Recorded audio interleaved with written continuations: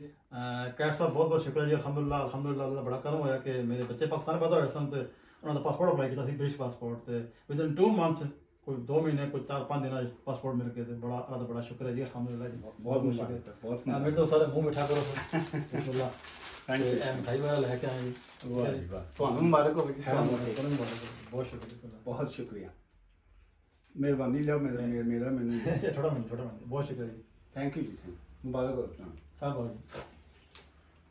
बिस्मिल्लाहिर्रहमानिर्रहीम अस्सलाम दोस्तों, कैसे हैं आप? आई डू होप आप सब अच्छे होंगे जी। आज ये जो मैंने पहले क्लिप लगाया है, ये मेरे क्लाइंट थे जो कि यहाँ पे इस वक्त यूके में ब्रिटिश पासपोर्ट होल्डर हैं लेकिन उनकी जो बच्चे हैं वो पाकिस्तान में पैदा हुए थे। और उसके बाद हमने बच्चों का जो था, वो डायरेक्ट ही ब्रिटिश पासपोर्ट ही अप्लाई किया था। तो अल्हम्दुलिल्लाह, वो जैसे उन्होंने ख़ुद भी बताया कि तकरीबन दो महीने और चार पाँच दिन ऊपर लगे और उनके बच्चों का जो है ब्रिटिश पासपोर्ट डायरेक्टली होके आ गया। सो इसी हवाले से बहुत से लोग जो हैं, वो कंफ्यूज हैं कि जी के क्या हम, हमारे बच्चे जो हैं, वो डायरेक्ट ब्रिटिश पासपोर्ट ले सकते हैं कि नहीं?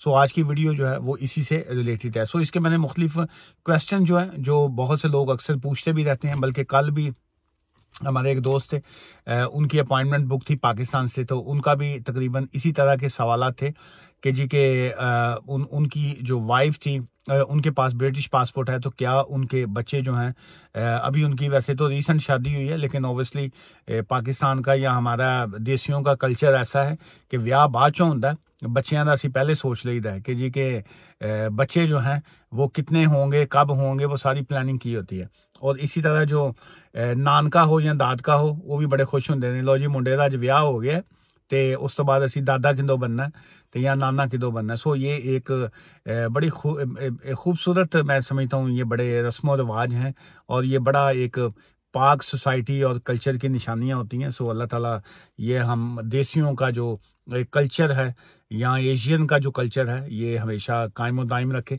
चलिए, उसमें ये है कि क्या ब्रिटिश जो सिटीजनशिप है, ये नॉर्मली जो है दूसरी जनरेशन तक जो है one generation to other generation जो है वो शिफ्ट होती है जो बच्चे जो है इसको दो, इस, बल्कि इस पार्ट को हम दो सिचुएशन में कर लेते हैं। नंबर एक तो ये है कि क्या मेरे पास ब्रिटिश पासपोर्ट है तो क्या, या मेरे पास आई एल आर है। अभी हम बात कर रहे हैं यूके के अंदर की। अगर मैं यूके में मैं रहता हूँ या रहती हूँ और मेरे पास इंडेफिनेट लीव टू रिमेन है, आई एल आर है मेरे पास तो क्या मैं जो मेरे बच्चे पैदा होंगे तो क्या वो डायरेक्ट ब्रिटिश हैं या उनको वीज़ा कौन सा मिलेगा? सो उसमें तो ये है कि जब मेरे पास आई एल आर है इंडेफिनेट लीव टू रिमेन है, या मेरे पास ब्रिटिश पासपोर्ट है तो मेरे बच्चे जो हैं पैदा होंगे तो वो डायरेक्टली जो है वो ब्रिटिश नेशनल होंगे और वो ब्रिटिश पासपोर्ट जो है वो अप्लाई कर सकते हैं।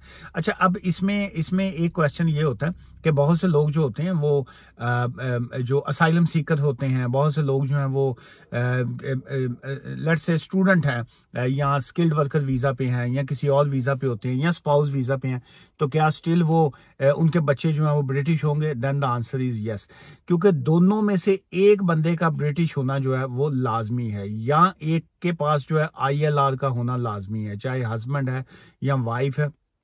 अगर वाइफ के पास आईएलआर है या हस्बैंड के पास है तो दोनों में से अगेन एक के पास आईएलआर या ब्रिटिश पासपोर्ट है, दूसरे का चाहे स्टेटस कोई नहीं भी है, अगर कोई इलीगल भी है ओवरस्टेयर भी है या किसी भी और सिचुएशन का विक्टिम है या शिकार है या मतलब और तरह की उनकी सिचुएशन है, बहुत सी और डीप बातें हो जाएँगी सो बड़ा मुश्किल होगा।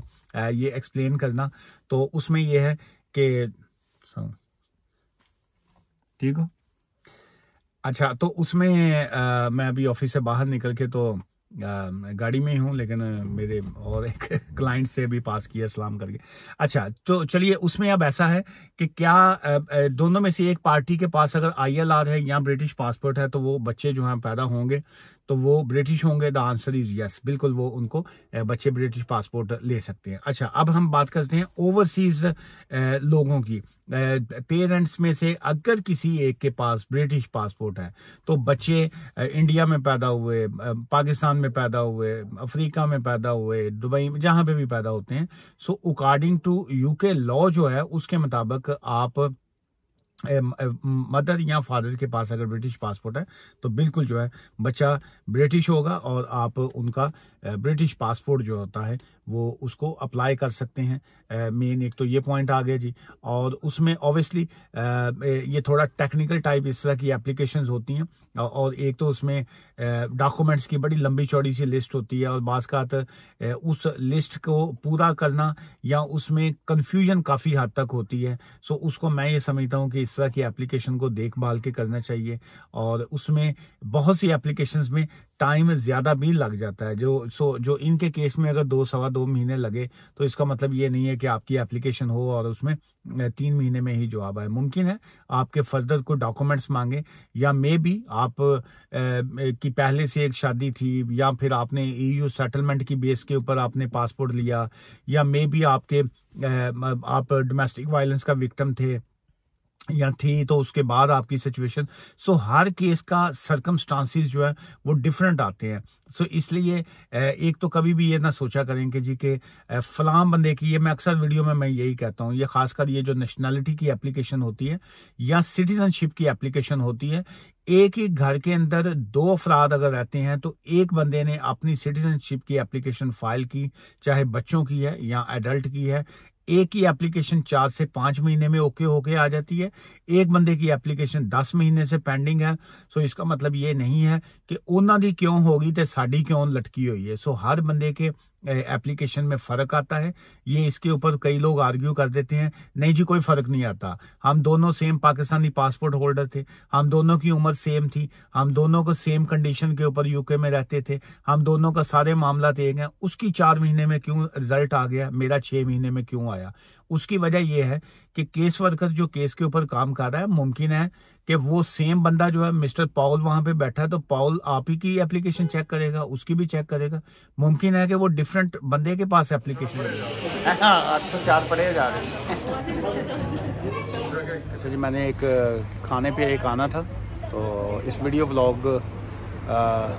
में जो आखिरी एक दो पॉइंट्स यहीं पे ऐड करके तो क्लोज़ करूँगा। अच्छा एक तो मेन ये है कि इसमें जो डॉक्यूमेंट्स आएँगे, जो जो डॉक्यूमेंट्स में पेरेंट्स के हवाले से मैरिज सर्टिफिकेट जो है, वो हो सकता है। इसमें इम्पोर्टेंट होता है बहुत से केसेस में। बहुत से केसेस में अनमेरिड पार्टनर होता है। तो उसमें अगर अनमेरिड पार्टनर के डॉक्यूमेंट्स हैं तो उसमें आपको रिलेशनशिप साबित करना जो है, वो मस्ट आ जाता है। अच्छा फिर आपके उसके बाद जो आपकी जो मेन नेचुरलाइजेशन जब आपकी हुई थी उसके डॉक्यूमेंट्स आ जाते हैं। फिर आपके जो यूटिलिटी बिल्स हैं वो इसमें बड़ा इंपॉर्टेंट होते हैं जी। प्लस आप का बहुत से केसेस में वो डीएनए के लिए भी कह सकते हैं। सो इसलिए अगर आपके डॉक्यूमेंट्स बड़े सॉलिड किस्म के हैं, जैसे बच्चों का बर्थ सर्टिफिकेट है बच्चों के साथ आपकी पिक्चर्स हैं वो चीज़ें जो है मैटर करती हैं, लेकिन मैंने देखा है बहुत से केसेज में वो डीएनए के लिए भी कहते हैं, लेकिन अगर आप का केस में डॉक्यूमेंट्स अगर आप उनको अच्छे तरीके से देते हैं तो बहुत सी इस तरह की आप फ्यूचर हर्डल से जो है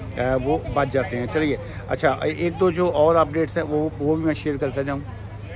Tory spent 700 million on Rwanda scheme जो है। ये कहा गया है कि जी के 700 मिलियन पाउंड्स जो थे वो इस रवांडा प्लान के ऊपर खर्च हुए। तो अब इसका क्या करेंगे?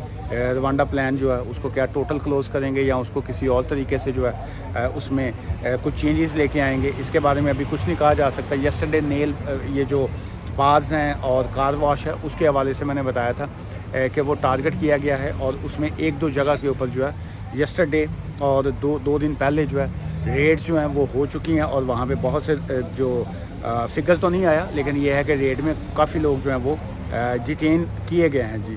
अच्छा और इसके अलावा ये जो स्टॉक होम ये जो बिबली के नाम से जो बिबी और बिबली कहा जाता है वहाँ पे जो बाज बनाए गए थे to close as asylum accommodation उसको जो है क्लोज़ करने के हवाले से भी अपडेट्स आ रही हैं ताकि असाइलम सीकर को वहाँ पे जो रखा जाता है, उसको क्लोज़ किया जाए। लेकिन क्या कहाँ पे शिफ्ट किया जाएगा असाइलम सीकर्स को, इसकी कोई उन्होंने अपडेट्स जो है वो नहीं दी।